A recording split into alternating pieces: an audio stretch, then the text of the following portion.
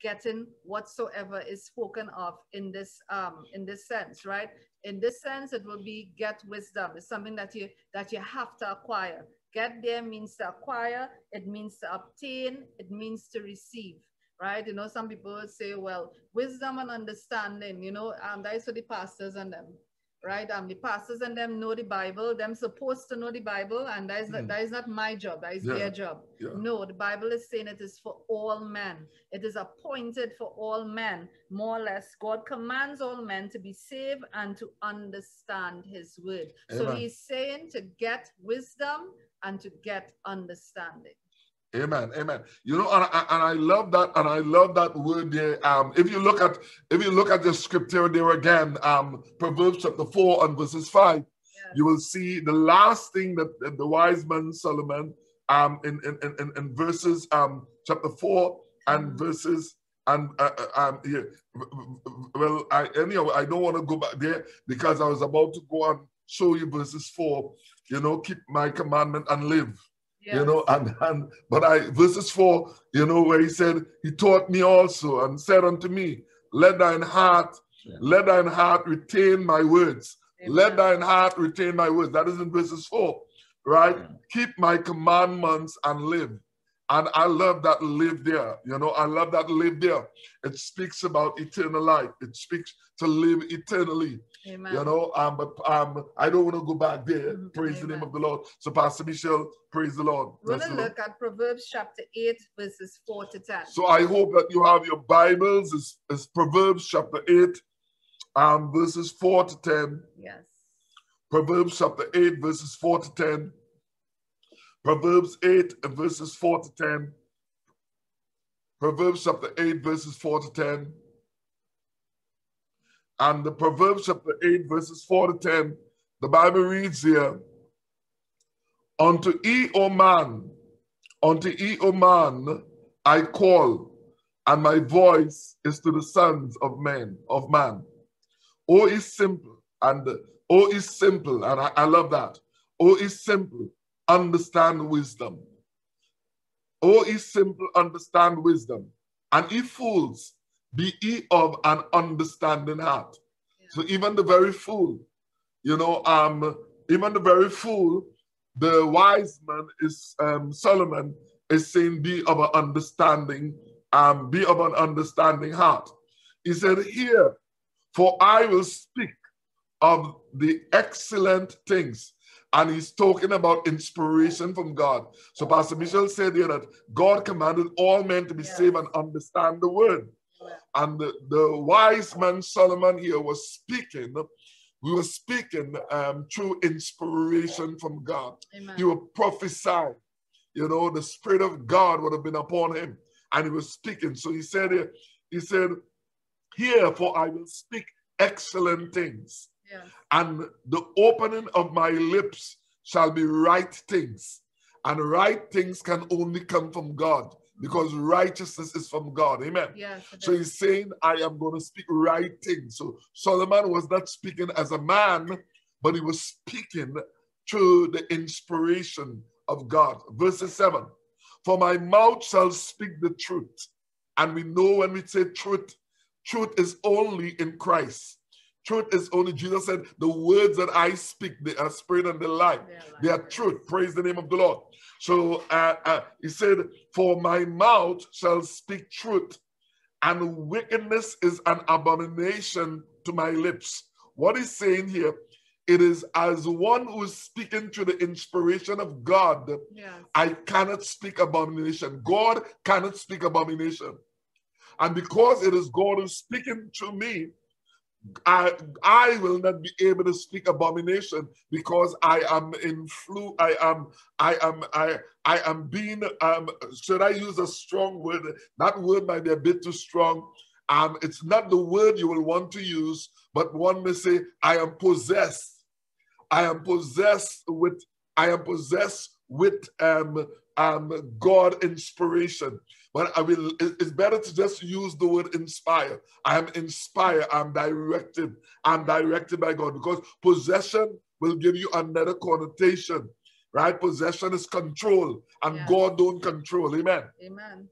So um, he was inspired and not really possessed. But I use the word possessed to show you how strong, you know, that inspiration would have been upon the man of God. So he said, All the words of my mouth are in righteousness. He said, There is nothing forward or forward or perverse in them. There is nothing, and imagine a Solomon speaking here. And Solomon said, There is nothing forward or, or forward or, or perverse yeah. in my words. Amen, amen. He said in verses 9, they are all plain to him yeah. that understand it, and write to them that find the knowledge. So they that will open up to understand will understand. Yeah. Those who are seeking after knowledge will find it. Praise the name of the Lord. Amen. Bless the Lord. And, and he goes on to say, receive my instruction and no silver and not silver and knowledge rather than choice gold rather than choice gold Amen. um you know the bible teaches that we perish because of a lack of knowledge yeah. so a lot of times believers and you see people perish along the way they fall along the way they backslide it is because um it is because the um, is because of a lack of, of knowledge. You know, because the knowledge of God is powerful to keep us. Now, there is a scripture that I would like to quote. And that scripture that I would like to quote, it is that scripture where the Bible teaches, you know, and Paul said it in Philippians, he said, I'm not ashamed of the gospel of Christ because it is the power of God unto salvation. That knowledge is a knowledge that will never fail. In the knowledge of the word of God. The more you um, study and the more you sink yourself in the word of God, it will never fail. So, Pastor St. Pastor um, Michelle, we want to move on unless you have anything right. that you would want to add. I think you covered it all. Praise the Lord. So we are moving on tonight, believers. Men are not to add to or take from the Bible in any detail. Men are not to add to or take from the Bible in any detail. That is, they must take it as it is written. So, so um, um, men, and, and Pastor Michelle said there that men are not to add to mm-hmm.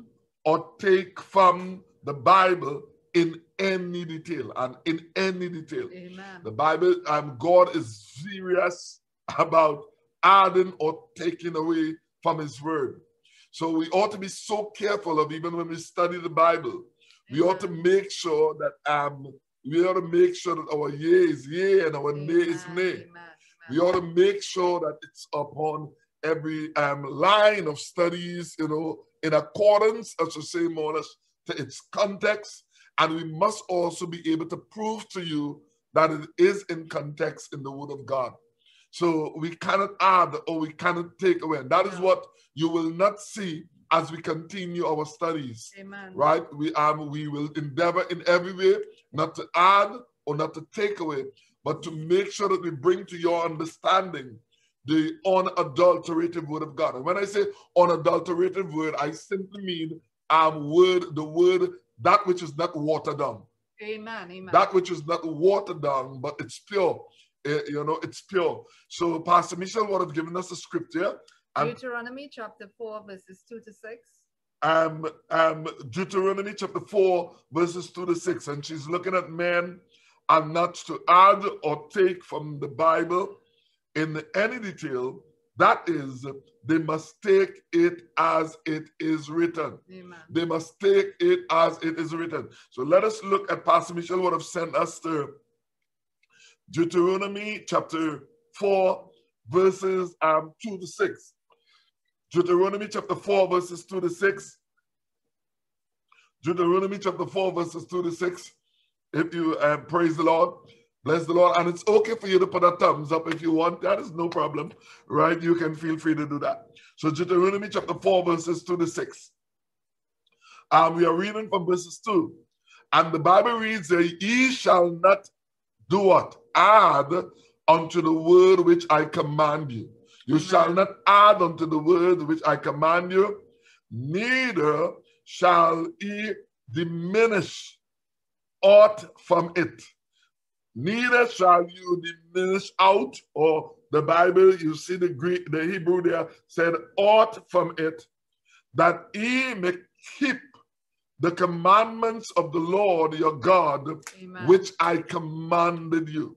So I want you to look at that again. And you're not supposed to add to it, neither take away from it. No add or, or into it or no taking away from it.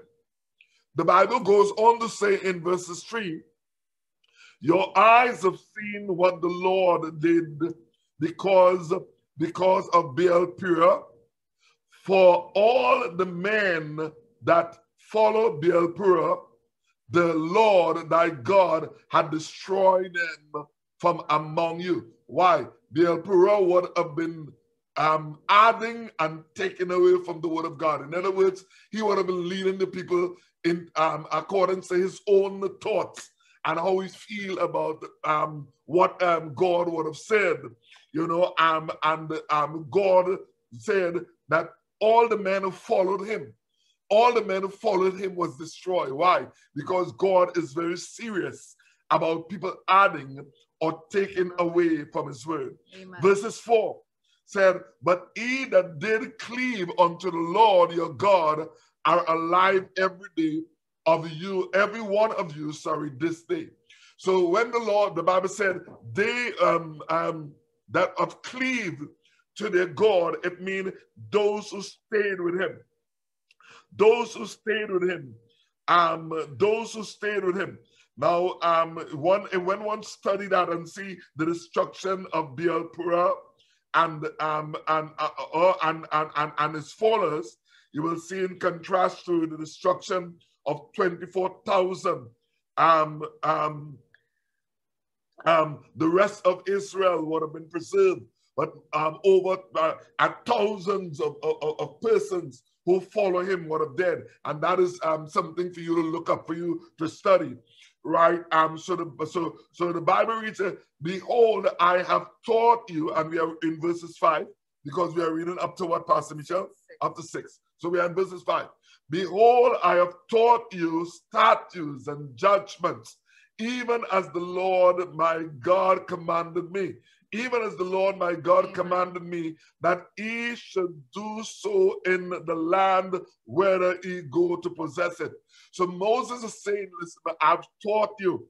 I taught you start you. I taught you judgment, not Amen. in accordance to my direction, not in accordance to what I think Amen. or what I feel, but the statute and the judgment that I commanded you, I give to you, it would have been that which the Lord would have commanded of me. Amen. Amen. So he said, The Lord commanded me that he should do so in the land whether he go to possess it. So what he's saying, it is all the word that God inspired me to write to you. Mm-hmm. He said all those words are words that is uh, that is able to keep you.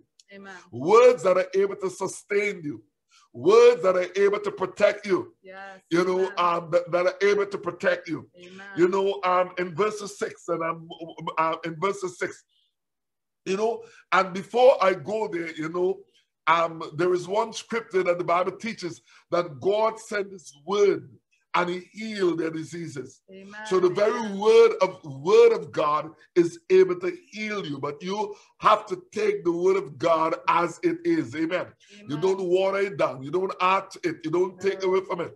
So as we go along, as we continue to study, we want to apply those principles of um, making sure that we take the word of God as it is and we don't add to it or we don't take away from it. Look at verse 6 Look at verse 6. He goes on to say, Keep therefore and do them. And, and I want you to look at that.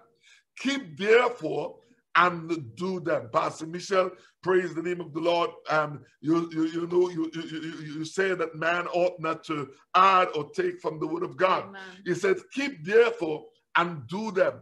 For this is your, your wisdom and your understanding in the sight of the nations which shall hear all these statutes and say, Surely this great nation is a wise and understanding people. Yeah. So it means if you want to find favor even in the eyes of men, you have to continue to apply the word of God.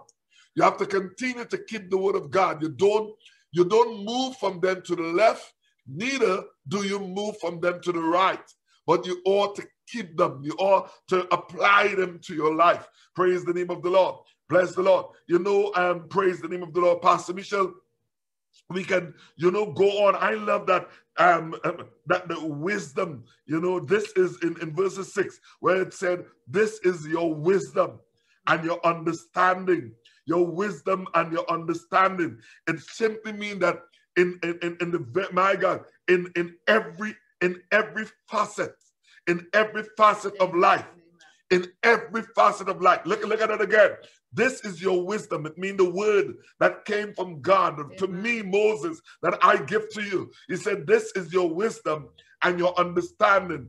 It means in every facet, in every facet of life, whether physically, mentally, spiritually, supernaturally, Amen. supernaturally, militarily, ma materially, and even governmentally. And even governmentally, we'll see that when Israel was obeying God, they were so far above other nations. And there was no, and there was no, and there was no um, um, uh, um, defeat among the children of Israel. There was also no comparison. There were no comparison. This is the reason why the Lord told Israel, This is your wisdom and your understanding. And, yes, and you look at verse yes. 6 again, he said, and, and, and, and he said, which shall say, that is other nations. He said, they shall say, he said, and which shall hear all these statues and say, and what they will say, surely this great nation is a wise and understanding people. Why? Yes. Because, because um, the, the, the, the, wisdom of God, which is in his word, they accepted. And under, they understand, they open up themselves to understanding. We encourage you to open yourself to understanding. We encourage you to open yourself to wisdom. But you know something?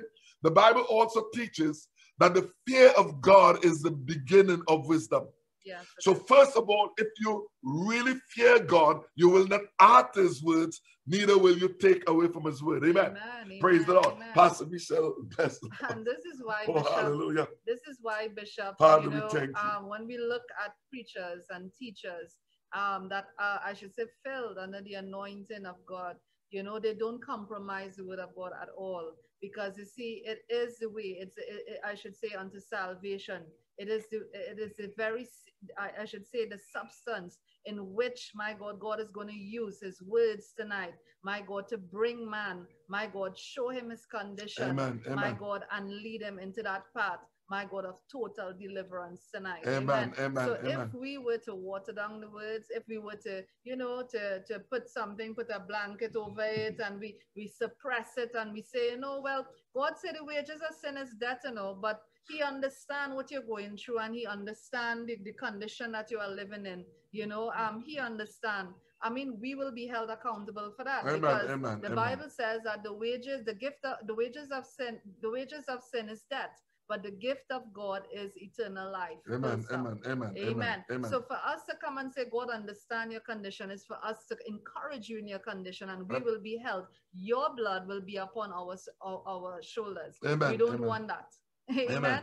amen. So, so, so, so you know, and as we continue to teach yeah. and we continue to look at deep things, you know, we will want you to we will want you to be just open in spirit as we continue to look at deep things. Pastor Michelle, you want to give us Deuteronomy another Deuteronomy chapter 12 and verses 10. Now, now remember that Pastor Michelle said that God commanded all men to be saved and to understand the word, but she went on to say that um, men are not to add or to or take from the word any detail that is, nope. they must take it as it is written. Amen. Yes, so she, she she give you another scripture there. And Pastor Michelle, could you quote that scripture again? Deuteronomy chapter 12 and verses 32. Deuteronomy chapter 12 and verses 32.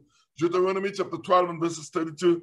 Praise the Lord. Um, Deuteronomy 12 and verses 32. Um, praise the name of the Lord. I know it's you have it. I hope that you have your Bibles with you. Um, and as I said, you can always share the link feel free to share the link with whomsoever you want to share the link to be a part of your Bible studies. So we are looking at Deuteronomy chapter 12 and verses 32. And the Bible reads there, what things soever I command you. Yes. And, and and what thing, and, and, and, and you see, it's not Moses speaking here about God, amen. Because Moses, Moses is not the person who's doing the commanding there, amen. So Moses, um, God is speaking through the prophet Moses, and he said, What thing soever I command you, observe to do it. Thou shalt not add unto nor diminish from it. Amen. So God is speaking through the prophet, and God is saying, Listen to me, the things whatsoever I commanded and you, he's talking to the people through the prophet. Yeah. The thing that I, I commanded you, he said, observe to do it. First of all, observe to do it, Yes. right? Thou shalt not add thereto, nor diminish from it. I hope that you have your Bibles. I hope that the children is there and the children is um, studying with us because I know it's in the home. I hope that the family is studying um, as we continue to study the Word of God. So you're seeing the prophet of God speaking through the inspiration of God, commanding the turn of God to make sure that the things that God commanded them, God was saying, observe to do it, and the thou and thou shalt not add thereto nor diminish from it, which simply means that diminish there mean to take away. Amen. That diminish there mean to subtract. Amen. You know, sometimes people subtract things that they believe to themselves. You know, um, that um, it, it- it is things that that um, I'm not sure about, or I don't feel I should say that, or I don't feel that um, it make I don't feel um, it making too much sense. It's not what it's not your logical um, thinking. It's not your philosophical reasoning.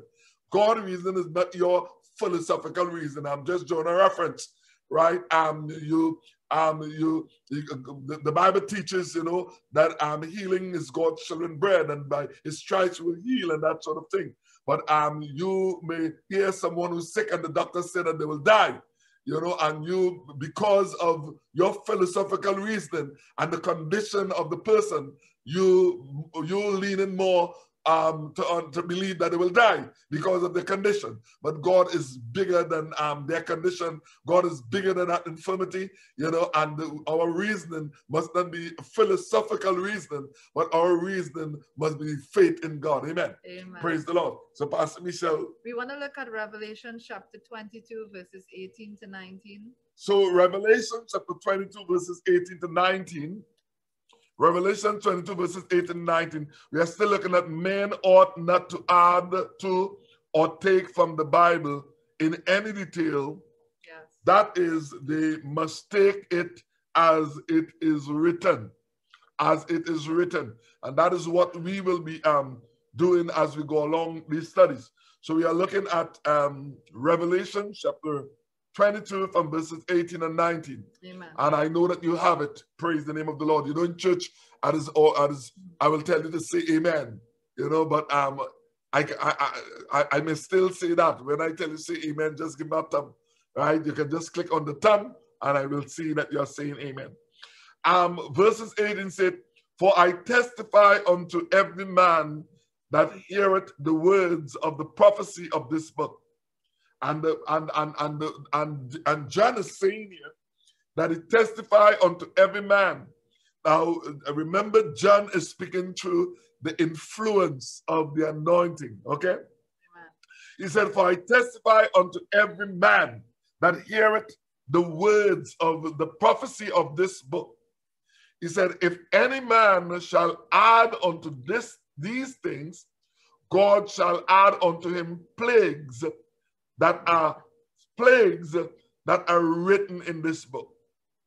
So he's saying that God is going to add unto him amen, plagues amen. that are written in the book if he add to it. And listen to me, somebody. I fear God.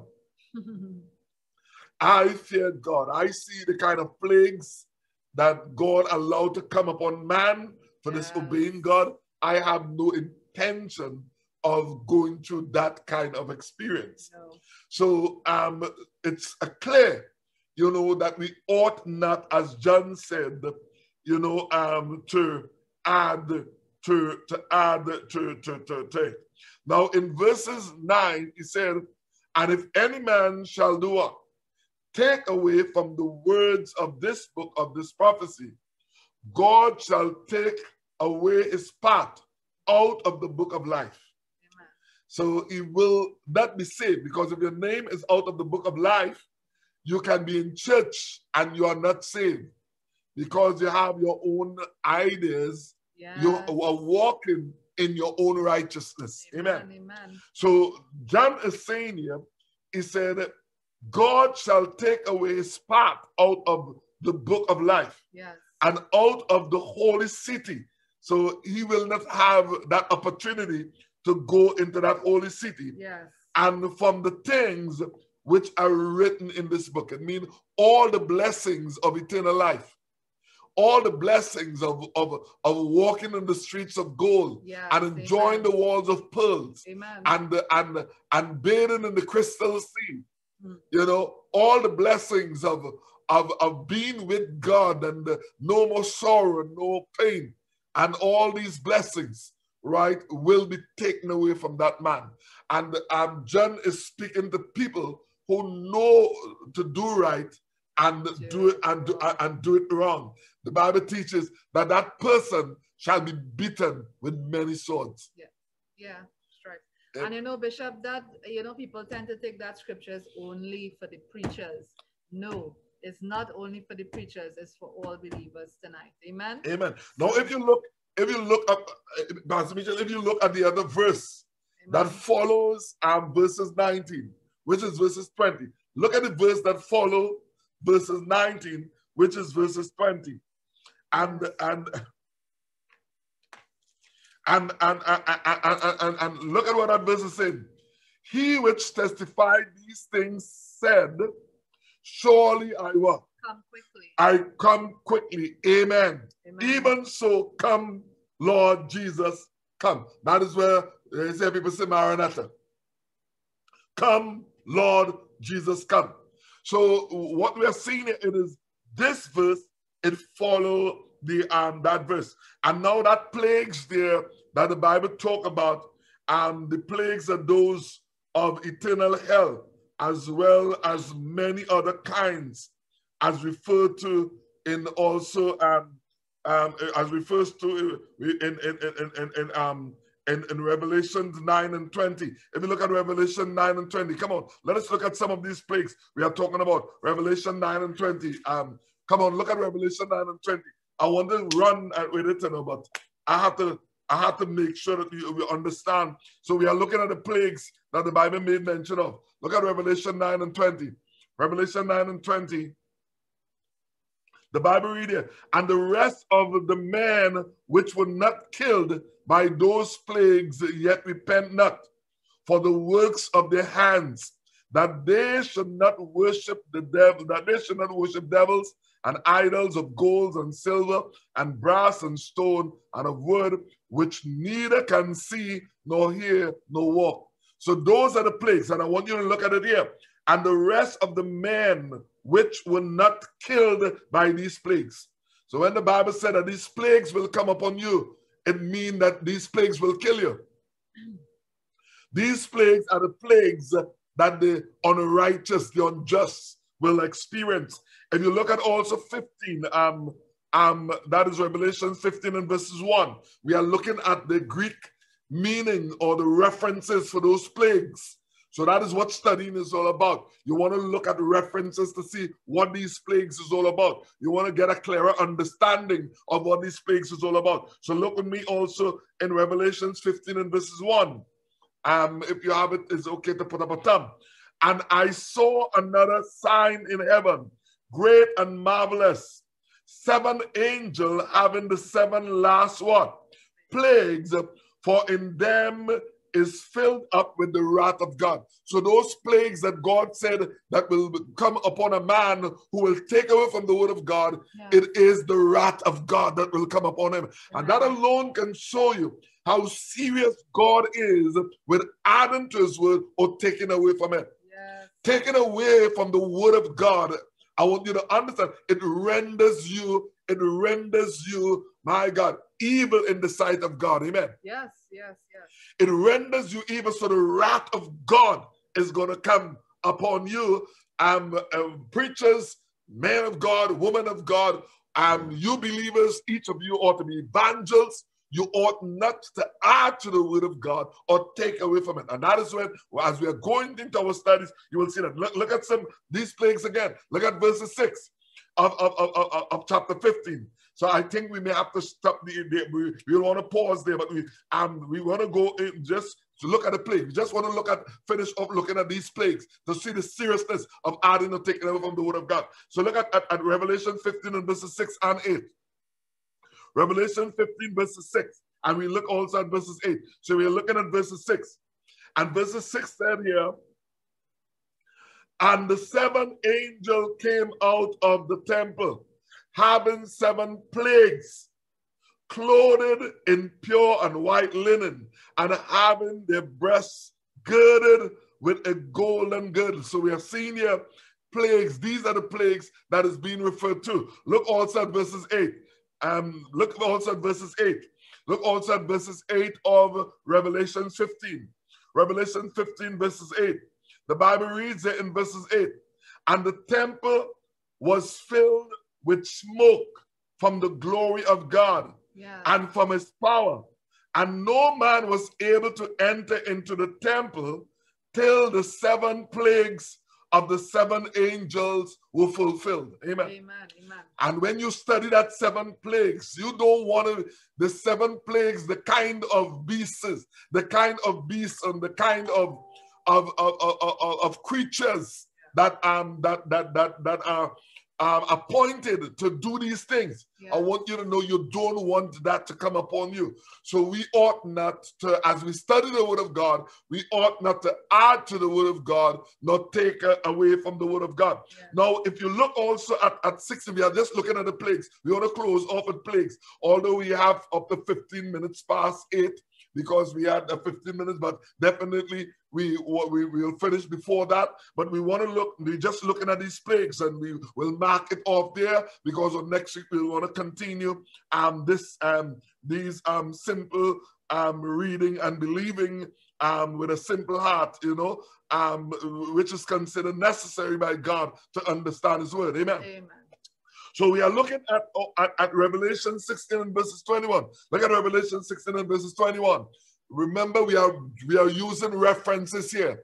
So we are using references in context to be able to explain what those plagues that the Bible teaches will come upon men who will take away from the word of God, what those plagues mean to be in the word of God, what it what it's all about. So that is what we are looking at here. So let us look at verses 21. Verses 21 said, And there fell upon men a great hail out of heaven, every stone about the weight of a talent. And men blasphemed God because of the plague of the hail. That is to show you how terrible it was. For the plague thereof was exceeding great. Hmm. For the plague thereof was exceeding great. So what you're seeing here, it is those plagues. One, they are they are like hail, and they are the size of a talent, and they are exceeding great. It means they are tom they they they they they they they, they, they, were to be tortured. They they they they they um um they they they uh, should I say interrogate? Interrogate is not the word because interrogate is sometimes to just get information from somebody. But those plagues is gonna, those plagues is gonna torment man until or for the rest of their for the rest of their life, because there is something to call eternal life and eternal death, Yes. right? Every man will have either eternal life or eternal death. That is scriptural. Eternal death mean never ending death. So it means also never ending pains and suffering. Right? Um, the, the, the last scripture we want to look at for today, it is um Revelations 21 and verses 9. Revelation 21 and verses 9. So we are looking at how terrible these plagues will be for those who will take away from the word of God. Be very careful of persons or teachers that adds and take away from the word of God. Yes. And sometimes we are so become so gullible. We've become so gullible that we that or we have itching ears. The scripture talk about itching ears. Itching ears is ears that um uh, attracts anything and not prove the word of God to see if it is really the word or it, it- if it is of God. And not only that, Bishop, itching ears is what you want to hear, what you desire to hear. And it's not what you desire to hear, but what you need to hear. Amen. And Pastor Right. Michelle, I love that. Yeah. I love that. When you look up the, the definition of itching ears, itching ears really is what you what you want to hear.